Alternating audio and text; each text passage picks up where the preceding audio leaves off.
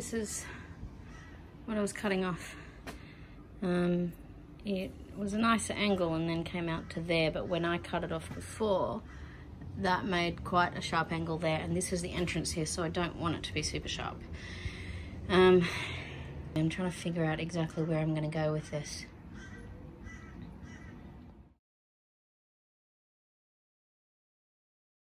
Alright, I have made some little changes.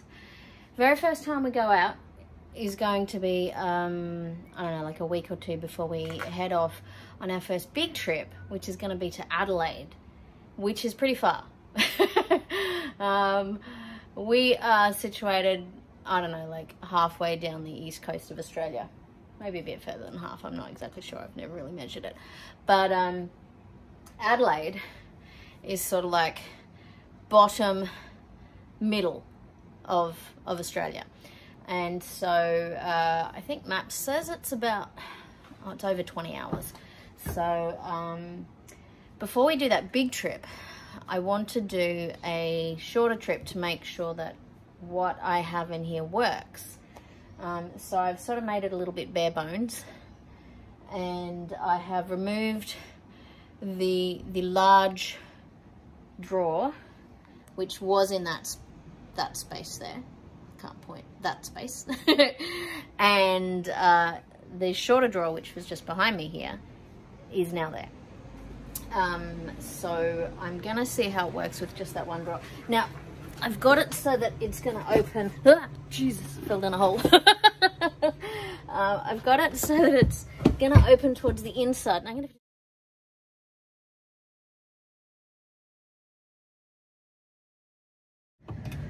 So it does mean that we can only access, I don't know, we can access a little bit of that. Well, that could still work. I have to shorten this as well. So you can see where the end of the bed is there. That's the end of the bed frame. And I have to shorten this mattress by about that much. Um, that's what I'm gonna do next. But anyway, so um, I can access this from in here. And we have a little bit of extra space just to sort of sit in, as long as I don't fall down this hole again. I guess that's a part of the engine that isn't meant to be covered so that it can be accessed if there's any issues. Oh, I'm exhausted. Those things are really heavy. They're good solid wood, which is nice. Um, this is what I did the other day. Let me point the camera around for you. I cut this support piece here. As you can see, this is under the bed, okay? Um, and that supports this side of the bed frame. Uh, I cut that uh, wheel arch. wheel well? Oh, it's a wheel arch. I've been calling it a wheel well. Maybe it is a wheel well. Maybe it depends which side you're looking from. Anyway, I cut that shape out of it. so now it fits over the wheel hump. That works. And um, there is also room for my cello which is one of the important reasons uh, that I wanted a bigger van or a, a, a bigger space to camp in. So yes, I previously in our Prius, um, I got the roof pod so that I could put my cello in the roof pod, which which worked really well. And I chose that roof pod specifically because um, some roof pods are quite short and I needed one that was long enough to fit my cello in uh, so that, you know, we could go on longer trips and I can still have my cello lessons, which I take via Skype. So I can do them anywhere where I am as long as there's a, um, a some sort of internet connection.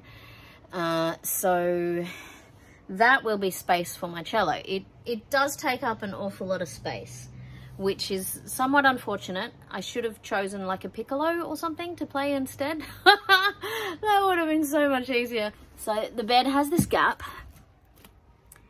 here. Oh, you can see the wheel well. Just, oh, just there. Um, and that is okay. I don't think we're going to fall off the bed. Uh, the width is still good. This is my test setup. I do want to have lots more storage space, obviously, and I do want to have some sort of um, cupboards and things. I would like to put some cupboards up against this um, cage thing because uh, I think that would be the perfect place for it. And then the space in the middle will still mean that we can access the the front seat. These are all just ideas at the moment because I haven't actually been out in it yet. We slept one test night in it, just out on the street. and um, that was cool. That was cool. But I mean, we didn't have all of our gear with us, so it wasn't a proper test. It was really just, I suppose, to see if the mattress was comfortable. And it is. But yes, we need to go out in it for at least a couple of nights with all our gear to to check it out, see what's going to fit where, and that will then give me a further idea on how I can build this so that it works for us to have a really long trip in it. Now, the trip to Adelaide is going to be decently long. It'll be a minimum of two weeks, I reckon. I think as long as we've got all our camping gear, even if it's a bit scattered around, and even if I'm just using like plastic storage tubs or something, I think it'll still work in this space. Uh, because if we could do all that in the Prius with hardly any space, we can very easily do that in here without even any cupboards built in. Um, because like this space I'm sitting in here, it's, it's, you know, it's, it's decent. It's like, you know, lots of room. Um, and I can, we can just put our collapsible stools in here to sit on and uh, we could even set up a tiny little camping table if we want. Um, but there's plenty of space to be in it even if it's raining outside. Um, I have some weather shields coming the, the, the ones that go over the top edge of the, the front windows. So if it's raining, I've got, uh, I can have the windows open a crack and I can also uh, open the back tailgate a crack and I've got a, uh, what do you call it? Go away, Mozzie.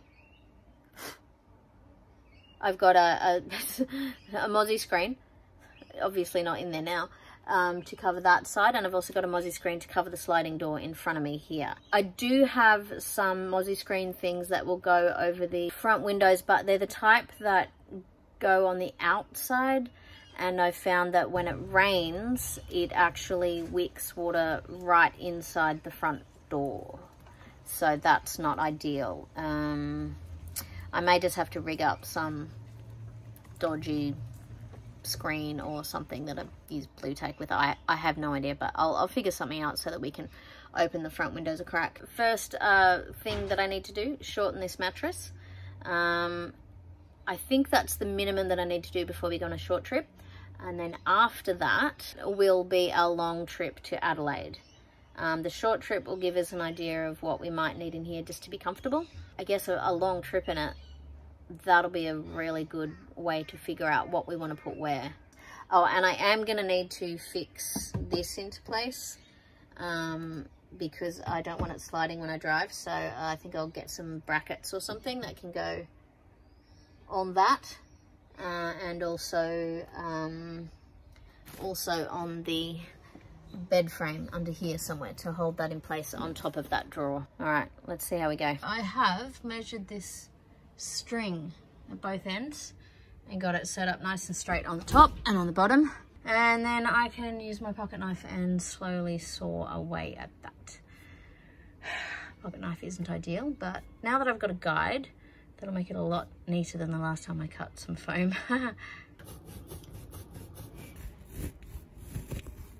there we go. That's pretty neat. I have to shorten the um, cover. So I think I'm just going to do a really sort of quick whip stitch kind of thing. Sort of tuck the excess uh, underneath or something. I'm not going to go to any great effort with that. Just make it really simple. I've started here, the edge, and I will be stitching all the way across there. And um, as you can see, I've just done a bit of a, not a whip stitch, I've done like a bit of a blind hem thing can't remember what that stitch is called.